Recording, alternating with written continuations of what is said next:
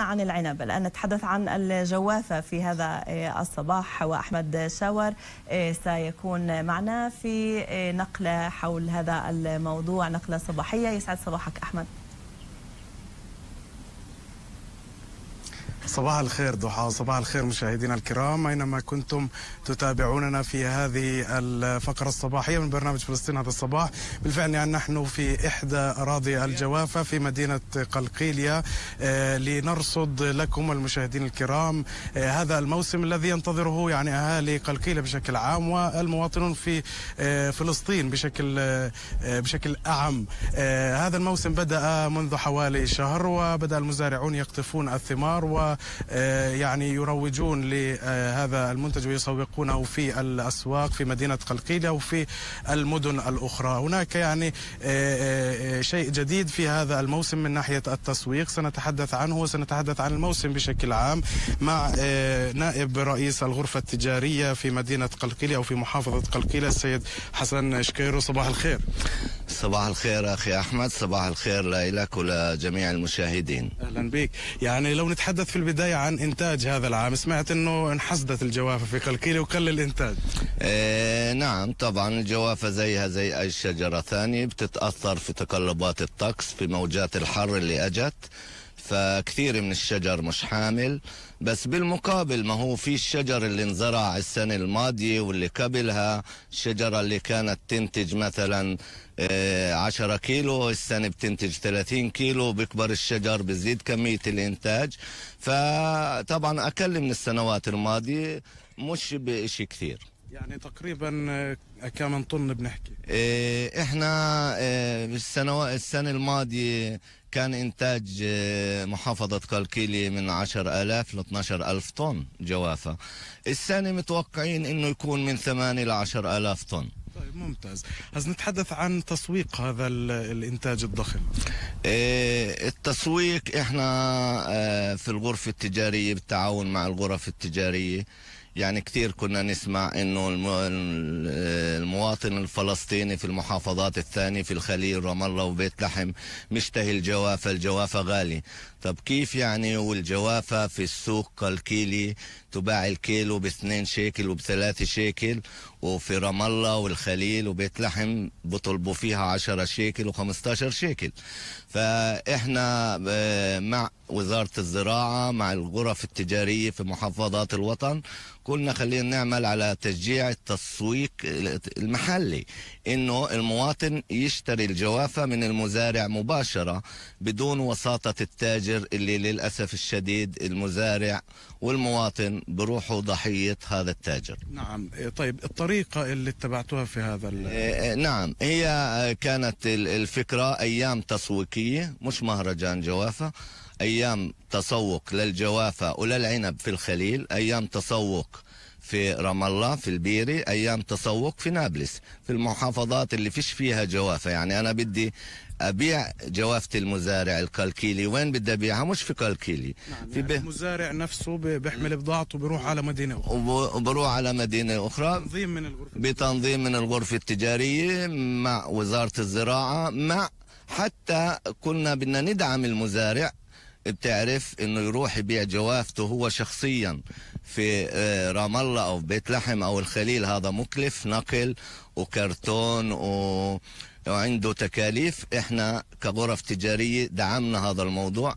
آه، المنظمات المانحة دعمت هذا الموضوع مشكورين سواء كانوا الفاو أو غيره أو الإغاثي. بخصوص إيه مواعيد هذه الأيام يعني إيه هذه الأيام بكرة أربع يوم الأربعاء أنا بستغل الفرصة إنه أدعو مواطنينا إيه اخواننا في رام الله إنهم يروحوا بكرة إيه الأربعاء يشتروا جوافة من المزارع الكالكيلي مباشرة بسعر زهيد بسعر يعني معقول اللي المزارع ما يخسر.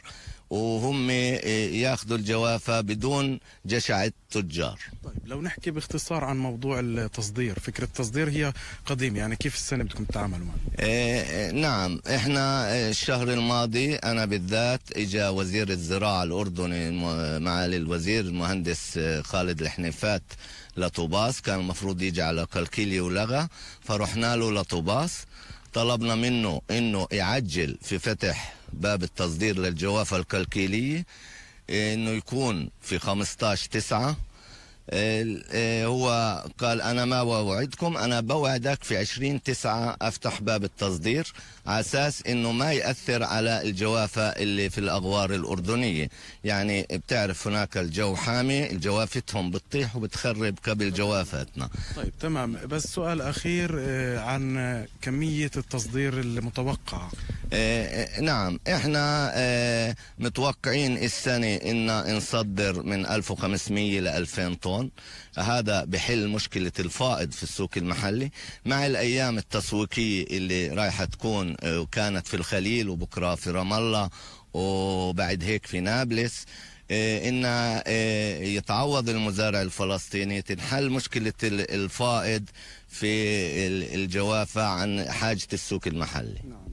شكرا شكرا جزيلا لك شكرا العافيه جهودكم مباركه إن شاء الله. يعني بنتحدث عن طرق تسويقية جديدة بالإضافة للتصدير الذي يعني كان متبع في السنوات السابقة والذي يعني يحل مشكلة بالفعل في تسويق هذا المنتج الذي ينتج ينتج بكميات ضخمة. نتحدث الآن أيضا مع المزارع رامي الجدع يسعد صباحك. صباح الخير. حياك الله. أهلا وسهلا. يعني بنتحدث عن تسويق لمنتج الجوافة. وأنت بتعرف يعني كميات ضخمة في الأسواق بتكون مرات يعني في مدة قصيرة.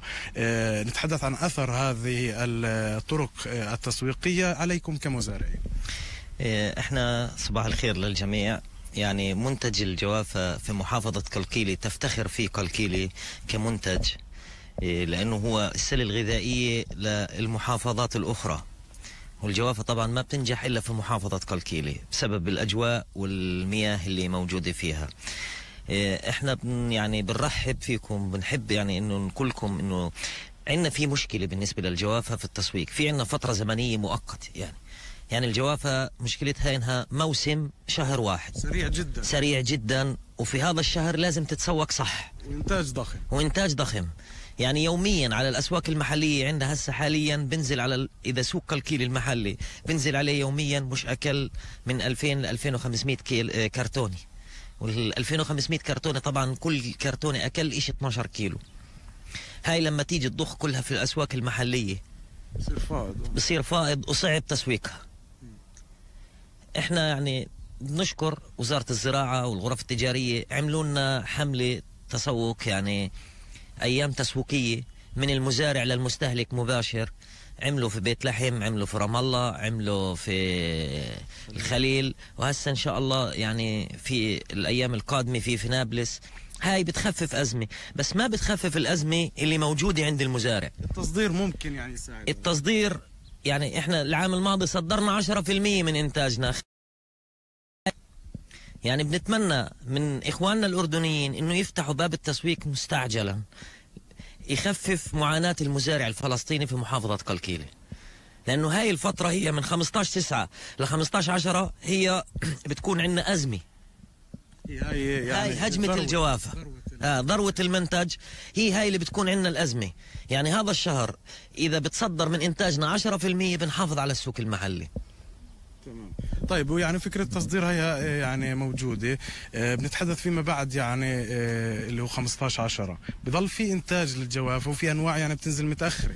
في إنتاج وفي أنواع متأخرة بس كمية أقل وبتكون يعني في الأسواق المحلية محافظة على سعرها. لأنه تكلفة الجوافة عندنا هان تكلفة عالية.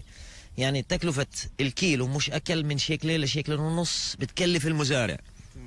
لما تروح بشيكلين ونص في السوق المزارع دمار صحيح. إذا ما راحتش أقل من ست شيكل تمام شكرا جزيلا لك مزارع رام الجدع يعطيكم ألف عافية. آه يعني آه مشاهدينا الكرام اذا يعني إلى هنا تنتهي فقرتنا. وطبعا آه زملائنا يعني ومشاهدينا بندعوكم لمتابعة هذه أيام التسوق في المدن الفلسطينية وأيضا إلى زيارة مدينة قلقيليه اللي يعني التجول في هذه الأراضي بين أشجار الجوافه والأشجار الأخرى. إلى هنا تنتهي فقرتنا. يعني إليك ضحى. شكرا جزيلا.